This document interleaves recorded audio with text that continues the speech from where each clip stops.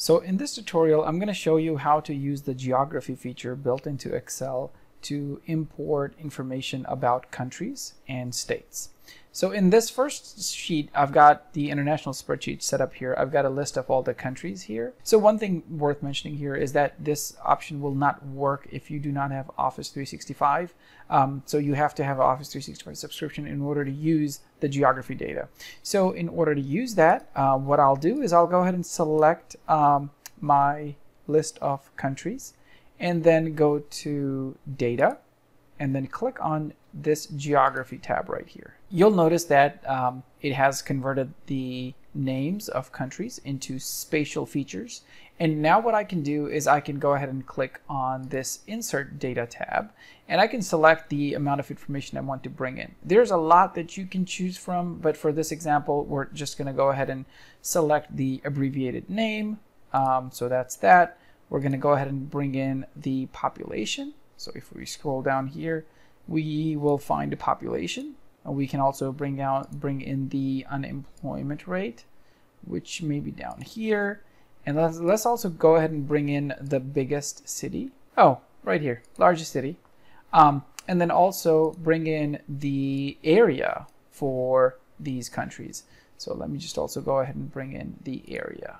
Okay, one other important thing here to note is that the area that's represented here is in square kilometers and it's not square miles.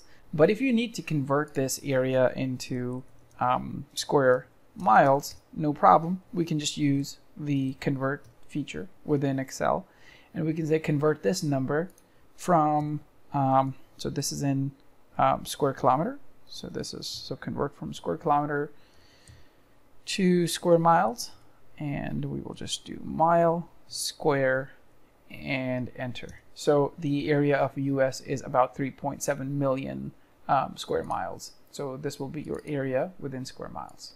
There you go. Okay, cool. So now let's move on to the United States tab.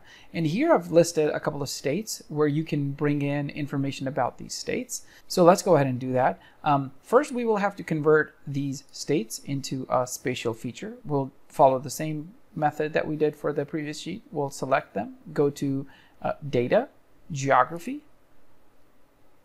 and we are going to see that the spatial features um, are now intact. We will go ahead and open up this sheet and now we can go ahead and start bringing in uh, the abbreviation. Let's also go ahead and bring in the area for these states.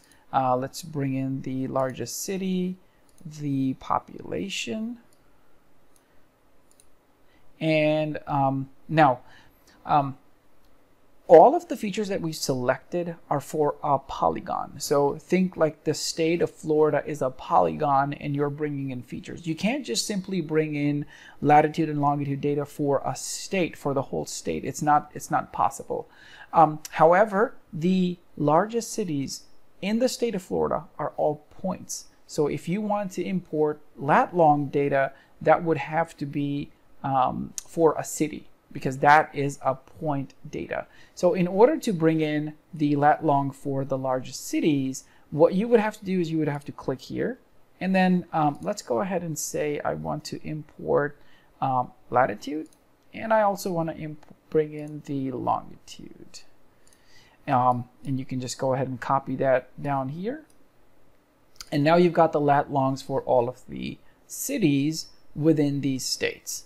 So um, how can you use this information? So if you select the states and their population, you can go to Insert and uh, just uh, click on Maps. Uh, you can just go ahead and simply create a chart with um, all the uh, with, with, the population information that you've selected up here. You can do the same thing for area if you wanted to just see which one is the uh, largest or the smallest. Um, and uh, you can also just go ahead and change the theme up here to uh, meet the needs of your dashboard. So whatever color you feel um, it works for you, just go ahead and select that.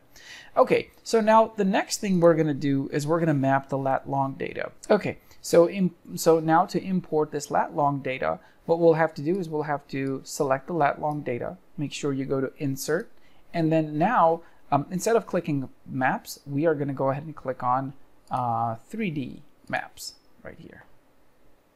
I already had a session open. I'm going to go ahead and just delete that and click on New Tour.